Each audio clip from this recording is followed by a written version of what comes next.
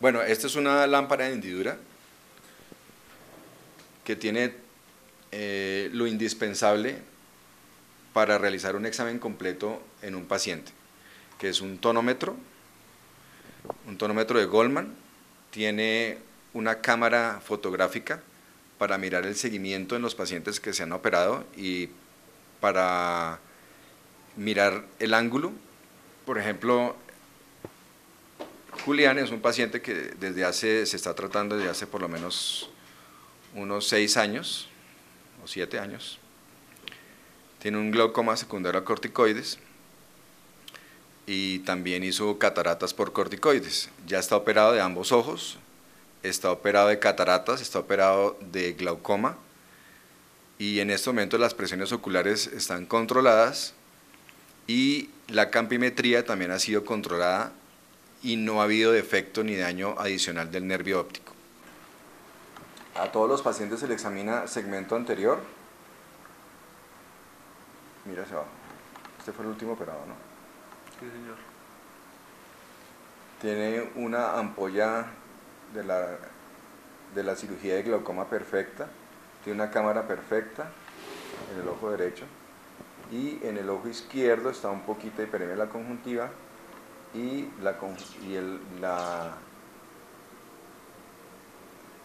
y también está muy bien la ampolla que se hizo hace por lo menos tres años la cirugía. Tiene los lentes intraoculares también buenos, están, están limpios los lentes intraoculares y tiene una visión de ambos ojos de 20-20. Tiene una presión ocular de 9 en el ojo derecho y una presión ocular de 14 en el ojo izquierdo. Bueno, estamos en la unidad de láser de glaucoma aquí del consultorio. Esta es una trabeculoplastia láser selectiva, es un SLT que se usa solamente para pacientes con glaucomas de ángulos abiertos. Es última tecnología en tratamiento de, para bajar la presión ocular. Y este es un jack láser para iridotomías y para capsulotomías. Las iridotomías solamente se usan en pacientes con riesgo de tener un glaucoma de ángulo estrecho y las capsulotomías se usan para limpiar lentes intraoculares, eh, pues por supuesto en pacientes que han sido operados de catarata.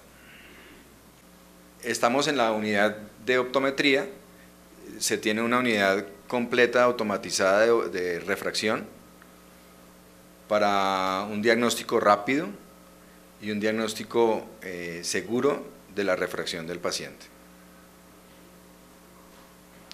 Con un lensómetro computarizado, un autorrefractómetro queratómetro computarizado y, un lensómetro computarizado. Todo, estas, todo esto está integrado a la historia clínica. Cuando se termina hacer el examen del paciente, todos los datos van a la historia clínica digital. En esta lámpara de hendidura se puede tomar fotografías, fotografías del ángulo para ver si el paciente realmente necesita o no una, por ejemplo, una iridotomía con láser, para no hacer iridotomías con láser innecesarias. Eh, se sabe si el paciente se le puede hacer un seguimiento exacto de la patología. Si tiene una úlcera en la córnea, se puede mirar cuando llega el paciente con la úlcera y cuando ya esté bien, se puede hacer una evolución perfecta, ya que se le puede tomar fotografías eh, diariamente si usted quiere. Queda registrada la tonometría digital, queda registrada también con los diferentes lentes que tienen, tenemos, pues, se puede tomar fotografías del ángulo, fotografías del nervio óptico, fotografías del cristalino.